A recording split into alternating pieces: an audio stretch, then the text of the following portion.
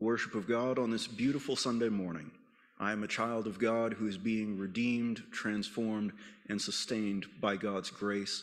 I hope you feel that more fully for yourself as we go through worship this morning and in your week to come. What announcements do we have this morning?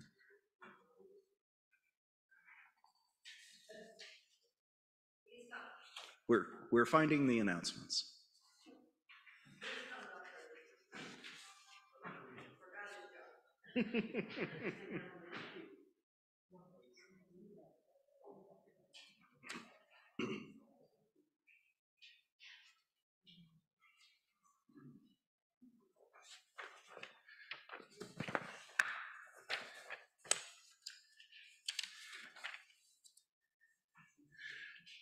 Uh, Good morning.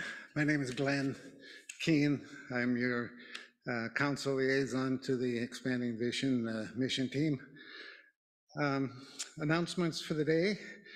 Uh, The church has bought uh, flowers for uh, decorating uh, poinsettias during the Christmas season. If you'd like to donate to that, it would defray some of the costs. Um, We encourage people to wear badges. If you haven't got yours on, you don't have to go get it now, but uh, try to wear them in, next Sunday. Um, After worship today, we uh, invite you to join us to uh, have hanging of the greens on the Christmas tree out there. Uh, Grab a cup of coffee and some fellowship, and uh, we'll get the uh, tree decorated. Um, I would like to announce that uh, during this Christmas season, um, there will be only one Christmas uh, service, uh, that will be on Christmas Eve evening. And there will not be a worship service on Christmas Day. I think that uh, covers most everything here. Thank you.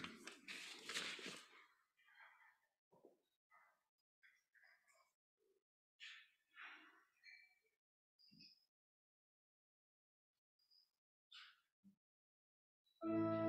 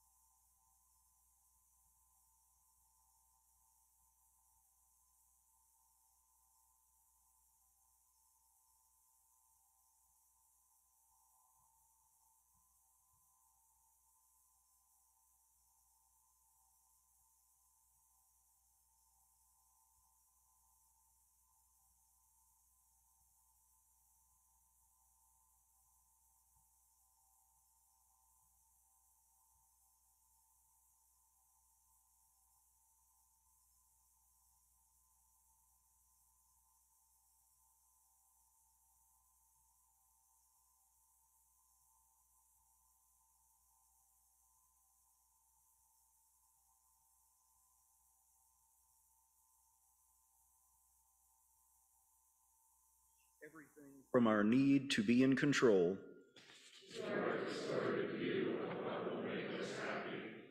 From our disappointment in the weakness of others, from the lie that you are far from us,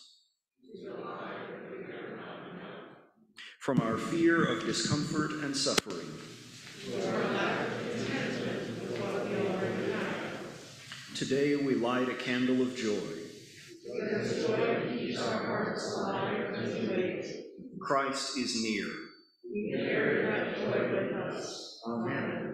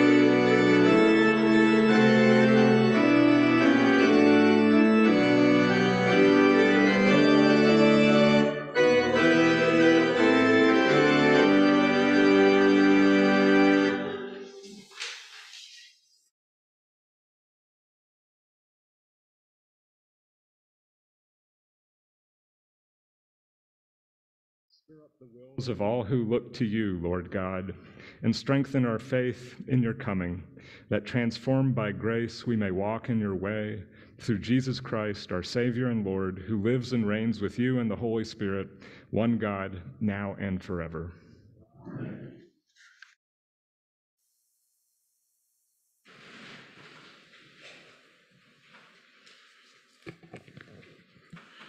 Good morning. Our first reading today is from Isaiah 35, uh, verses 1 to 10. The wilderness and the dry land shall be glad, the desert shall rejoice and bloom. Like the crocus, it shall blossom abundantly and rejoice with joy and singing.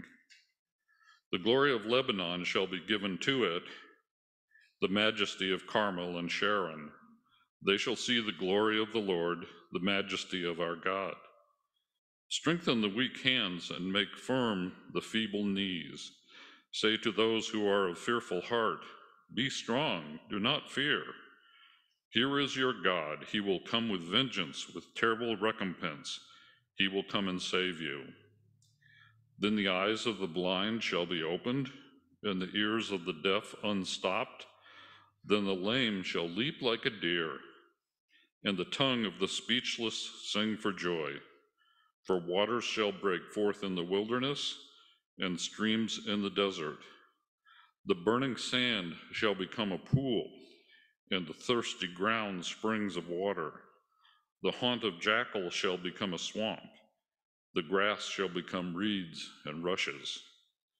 A highway shall be there, and it shall be called the Holy Way. The unclean shall not travel on it but it shall be for God's people. No traveler, not even fools, shall go astray. No lion shall be there, nor shall any ravenous beast come upon it.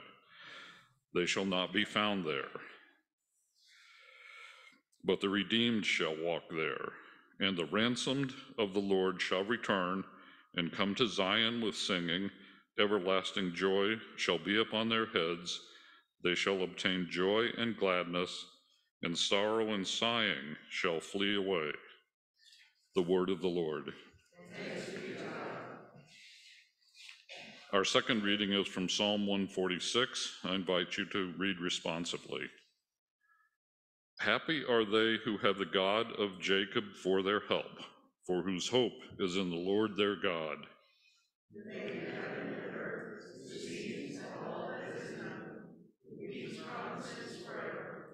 Who gives justice to those who are oppressed and food to those who hunger. The Lord sets the captives free.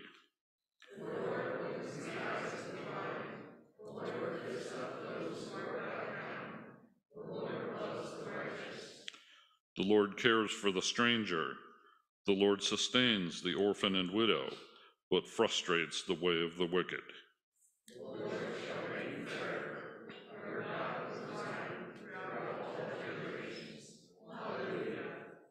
Here ends the reading of the word of the Lord. Thanks be to God.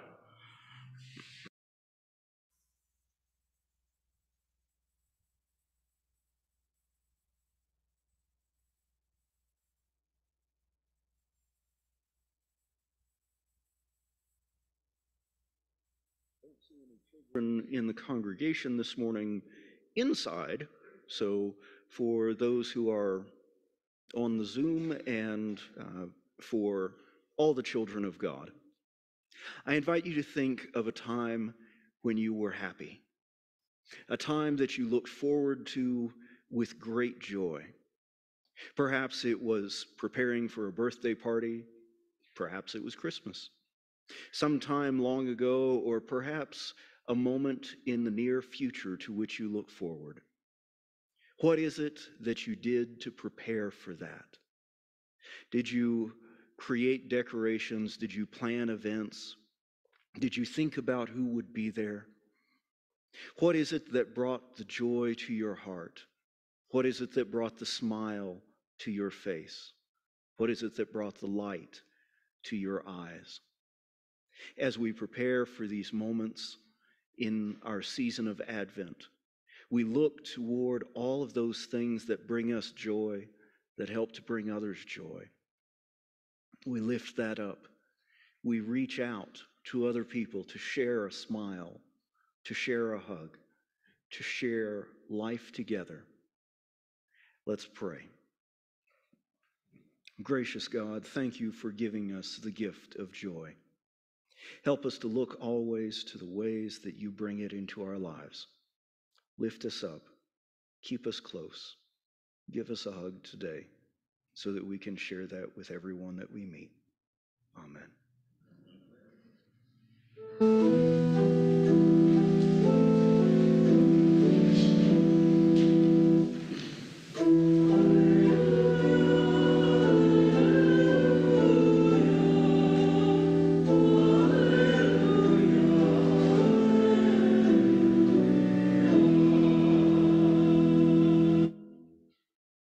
Gospel according to Matthew, the 11th chapter. To you. When John heard in prison what the Messiah was doing, he sent word by his disciples and said to him, Are you the one who is to come, or are we to wait for another? Jesus answered them, Go and tell John what you hear and see. The blind receive their sight, the lame walk, the lepers are cleansed, the deaf hear, the dead are raised, and the poor have good news brought to them. And blessed is anyone who takes no offense at me. As they went away, Jesus began to speak to the crowds about John. What did you go out into the wilderness to look at? A reed shaken by the wind? What then did you go out to see? Someone dressed in soft robes? Look, those who wear soft robes are in royal palaces. What then did you go out to see? A prophet? Yes, I tell you, and more than a prophet. This is the one about whom it is written See, I am sending my messenger ahead of you, who will prepare your way before you. Truly, I tell you, among those born of women, no one has arisen greater than John the Baptist, yet the least in the kingdom of heaven is greater than he. The Gospel of the Lord. Praise to you, Lord.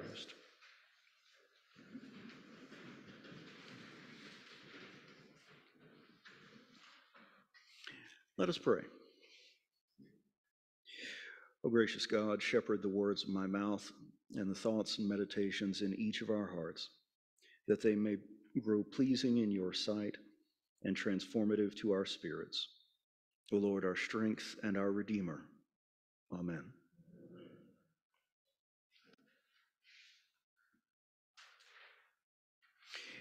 What is it that brings us joy? For what are we looking? For what are we waiting? As individuals and as community, what is it that we anticipate? These are the things that I'd like for us to have in the back of our mind as we wander through Scripture this morning and our homework for the week to come. When we look at the gospel lesson for today, we see something that seems perhaps a bit strange given the gospel reading of last Sunday. John was very certain that this was the Messiah last week. John was absolutely certain what the Messiah was going to be about, what the Messiah was going to do last week. Here we see the world turned on its head. John had gone out with that certainty, speaking truth to power, and had found out how much power power has when it comes to the limitation of freedom.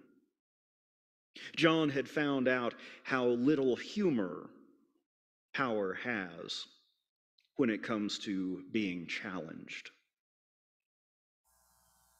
John was in prison, looking to the end of his days and wondering. Recall last week John's language that was rather violent, upsettingly violent for this season of Advent in which we find ourselves, or at least I don't like to think about the violence of the axe already being laid at the root of the tree, unless we're talking about choosing which Christmas tree to bring into the house. Then it's okay. John was certain last week. For many of us, we find ourselves in that period of, well, I used to know, and now I'm not so sure. We find that bit of prophecy within ourselves. It was a strange thing for me last week also to preach on the expectations of John with those violent images on a Sunday that was dedicated to peace as far as our Advent calendar, uh, the Advent candles go.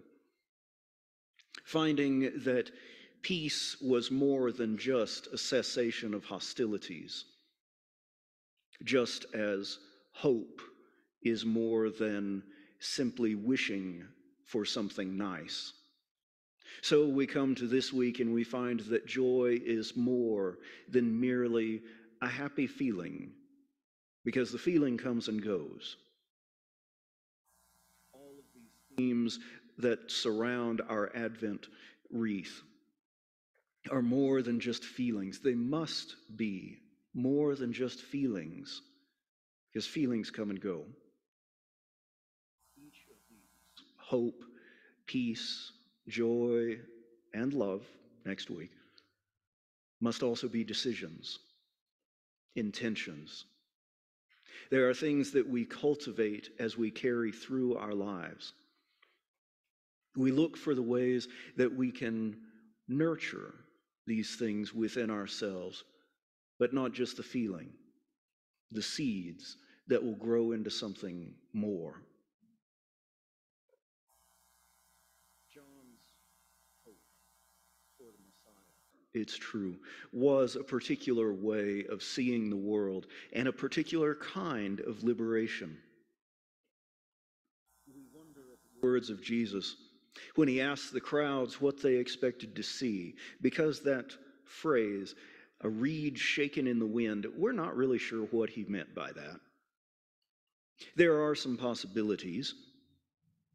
There is the notation that many commentators point out that King Herod uh, of the area on his coins. On one side had his face with the very nice uh, soft robes mentioned a little bit later.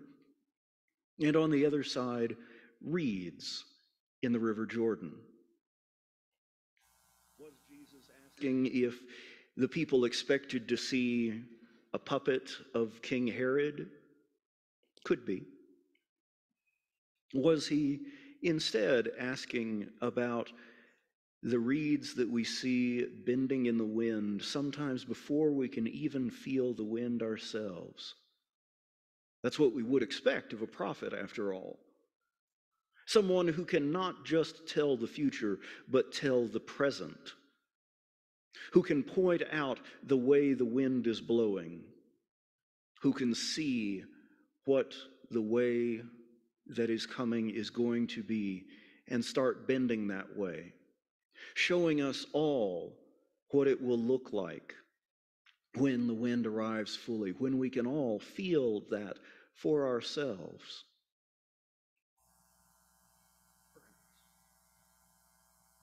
Perhaps you have a different image or a different understanding of what this forerunner was to be What we see with John was someone who had an image and he could prepare the way, even if he did not fully understand. The passage from Isaiah for this morning declares that there is a place within the people of God, even for fools. Thank heaven, that means I might get in. There is a place for all of us and the wicked will stumble. We have an opportunity. Within our own preparation for Advent, within our own lives, to separate out the wheat from the chaff, but in a different way than perhaps John imagined. All too easily, we can fall into the trap that perhaps John fell into of imagining that people are either wheat or chaff instead of seeing the wheat and the chaff both within each of our hearts, within our communities. Yes, we are called to call out and point out the evil that exists within our lives, within the lives of our community, within systems, so that it does not bring further pain. We are also called to look within ourselves and to ask, what is it that we were expecting? John was expecting a particular kind of liberation, and when he did not see that rolling forward, perhaps he began to despair. Going from hope to despair within a week, man, I can knock that out in my drive to work. What John was hoping for was not manifesting. And so when he asked, Are you the one who we were hoping for, or are we waiting for another still? Sometimes we ask that for ourselves. Sometimes we might wonder about if we have fallen off the path because we had the beautiful joy, the certainty, the expectation of Palm Sunday. And then we find ourselves within a good Friday, a mere five days later. Good news for us is within the gospel lesson this morning, declaring that even in the midst of that despair, there is a place for us, an honored place for us. John was missing the point. Fortunately for John and for us, we see a number of examples within the Gospel of Matthew of people who miss the point and are held up as holding on to enough of it. Just a few chapters later, Peter will be the one who declares that Jesus is the Messiah, the one they were waiting for. And then a few verses later, get referred to as Satan who needs to get behind Jesus because he's in the way. There is a place for us, for fools, who will perhaps wander around a bit, but not get lost. And we thank God for that. On this day of focus for joy, we look at the focus that John had, seeing liberation in a particular way, and asking, Are you the one? And Jesus declaring, Look around you and see what the kingdom really is. The kingdom is not about changing one set of a political party for another and winding up with the same old things being done, but rather liberation is found in people who are being liberated from their pain. The image of the reed being shaken by the wind may indeed call back to the Exodus story. The wind coming down the Red Sea, parting the waters, blowing the reeds along the riverbanks, allowing the people to walk along dry land into the road of freedom.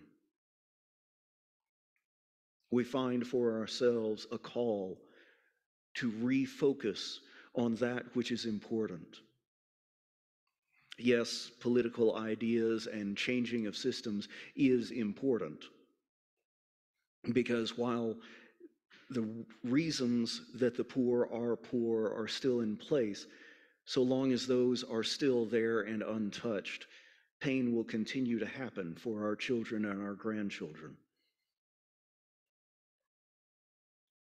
The question is Are we forsaking those who are in pain today in favor of those who will be in pain tomorrow? And Jesus says, pain is pain, and healing is healing. So bring healing. Look for joy. Find the places where healing is occurring within our own lives, within the lives of those around us. Nurture joy for all of us within our hearts. Find those places where we can play, where we can join in with those who are building up the kingdom of God within their own lives. Finding the new stories, the new ways of understanding what the kingdom is about. One of my favorite gospels that is not included in the Bible because it didn't get written until about 20 years ago talks of Jesus and his best friend walking along the Sea of Galilee, and Jesus despairing because the disciples are some of the dumbest folks that he's ever come across. and he's wondering how in the world is the mission of God going to happen with idiots like these? And Mary Magdalene comes up and puts her arms around Jesus' neck. And he says, Have you actually watched these people you're despairing of? Have you actually seen? Have you actually heard? Have you heard Peter preach? Have you seen Andrew lift out and find the unfindable? Have you seen these disciples actually pray over people who are hurting and see them free of their ills, free of their pain? Yes, every time you use an image, they focus on the image. And Josh, would you please stop using the image of a mustard seed because it's confusing everybody? It's like a cat. You point at something and they look at your finger. But it's okay because faith is not about intelligence, faith is about imagination. And each time you use a new image for what the kingdom of God is like, they get a little bit closer, a little bit better at understanding what it might be. They get a little closer to bringing it into their lives more fully. And Jesus turns to his best friend and says, Well, I told you she was smarter than both of us. Faith is an act of imagination, and we are called to imagine what peace and joy and hope and love might yet be for us. And yet, we are also called to not get too hung up on the images. John the Baptizer got a little too hung up on some of the images, but he still prepared the way of the Lord. We have the same opportunity to prepare the way of the Lord, not our way, but the Lord's way and to find ourselves standing on the edge of the kingdom of heaven. Jesus said that among all human beings, there was no one greater as a prophet than John. But even he didn't understand as much as the youngest, the smallest, the most fragile new bud within the kingdom of heaven as he wasn't quite focused on what the community as a whole, as a renewed whole, might yet be. Let us nurture joy by finding the empty places and the ragged edges of our own community and our own hearts, and filling in those spaces broken patches. For all of us together.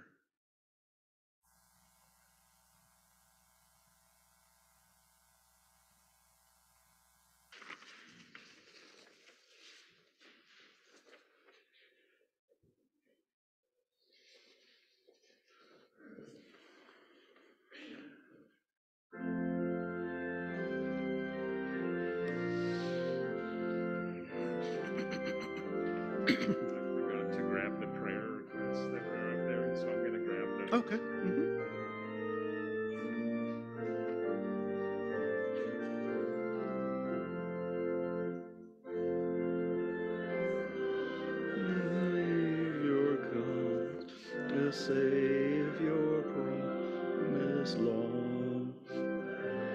Every heart there a throne, and every voice a song. The prisoners to release in Satan's bondage held.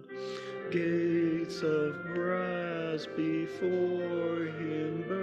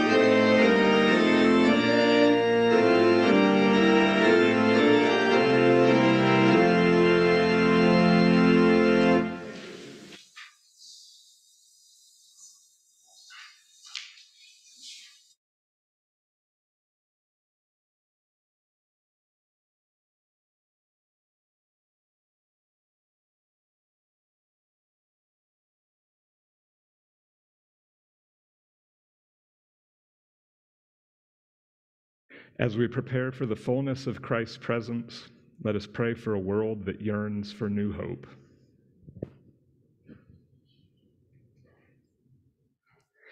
Gracious God, we rejoice in the gifts of your Spirit. Equip the global church to magnify your love and peace in every land. We pray for the work of the Lutheran World Federation and the ELCA Global Mission. More locally, we pray for the Border Servant Corps and this church's mobile, food pantry. God, in your mercy.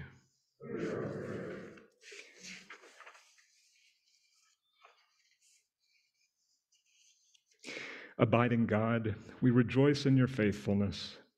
Teach us how to wait with hope, not just as we approach the celebration of the birth of Christ, but as this church awaits new pastoral leadership. Give us calm and patient hearts. Guide the call committee in, the deli- in their deliberations, and guide all of us to find ways of using this interim moment creatively. God, in your mercy.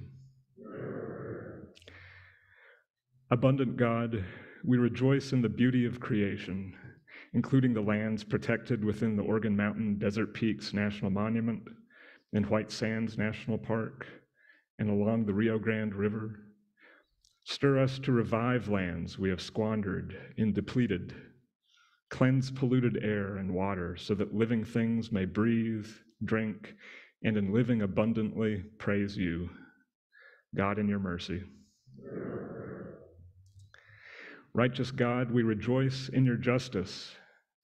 End racism, anti Semitism, and all forms of oppression. Deliver those who are unjustly imprisoned or persecuted. Reconcile nations and peoples in conflict, including the ongoing wars in Ukraine and elsewhere. God, in your mercy.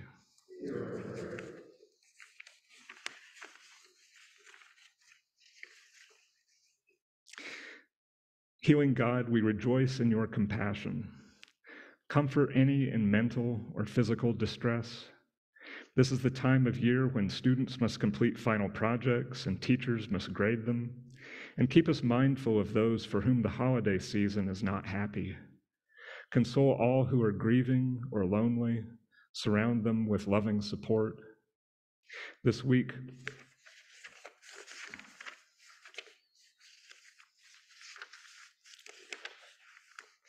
We also ask that you would heal all who are sick and that you would watch over the travels of all who are uh, traveling and visiting relatives this uh, holiday season. And we also uh, ask that you, we celebrate the birthdays and anniversaries of all who are celebrating those days this week as well. God, in your mercy. Faithful God, we rejoice with Mary, Mother of our Lord, and with all the saints that your mercy endures for all generations. This week we remember Lucy, who was a martyr, and John of the Cross, a renewer of the church, as well as the saints of peace, Ellen Brenkel, Alice Hahn, Joseph Larimer, Carrie Lindsay. Look with favor on those who have died and lead us joyfully to sing of your everlasting promises. God, in your mercy.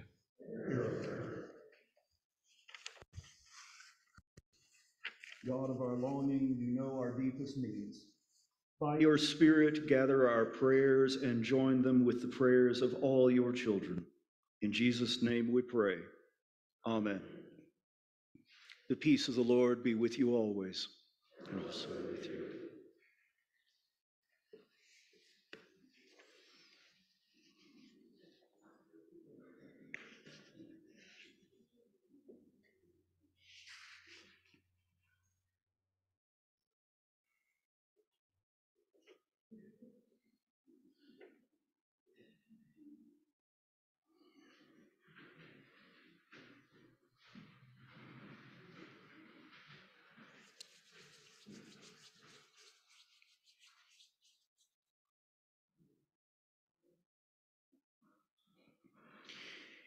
As a people of grace joined together in God's work for God's kingdom, I remind you of the opportunity at this moment to share our lives, our prayers, our grateful tithes for the work of God's kingdom and God's mission throughout the world. The uh, gifts may be placed in the offering plates located at the entry to the sanctuary, made online, or mailed to the church office. Let us dedicate our hearts, our minds, and our time to the upbuilding of God's kingdom, to the increase of God's joy throughout the world. Amen.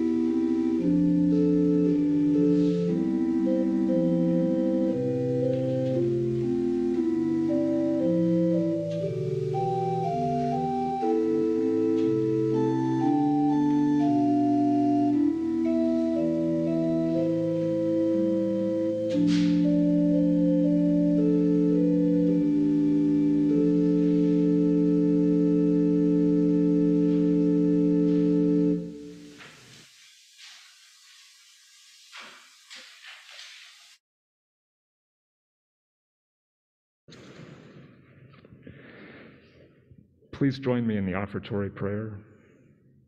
Eternal God, you make the desert bloom and send springs of water, thirsty ground.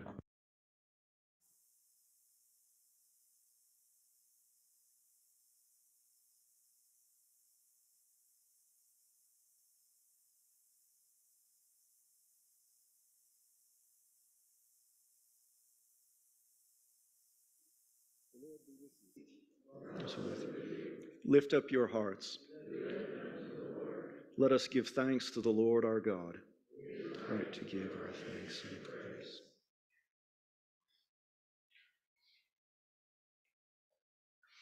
The night in which he was betrayed, our Lord Jesus took bread and gave thanks, broke it, and gave it to his disciples, saying, Take and eat.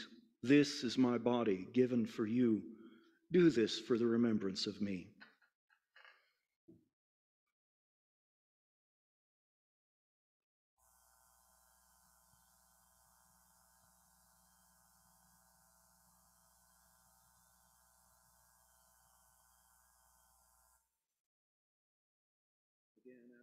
He took the cup and gave thanks and gave it for all to drink, saying, This cup is the new covenant in my blood, shed for you and for all people for the forgiveness of sin.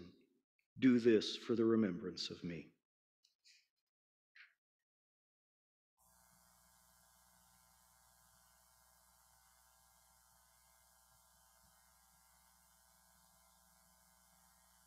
Our Father in heaven, hallowed be our name. Your kingdom come, your will be done, on earth as in heaven. Give us today our daily bread. Forgive us our sins as we forgive those who sin against us. Save us from the time of trial and deliver us from evil.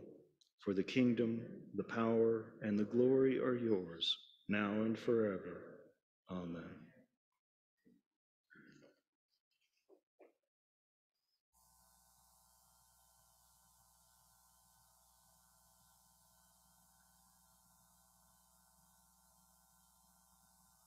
Okay.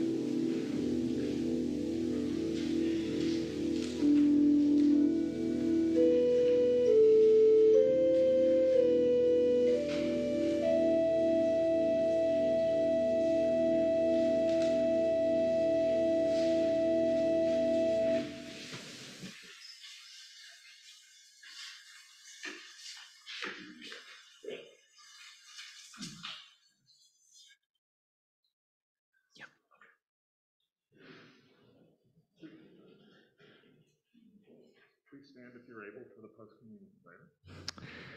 Faithful God, in this meal you have remembered your mercy, bringing heaven to earth in the body and blood of Christ.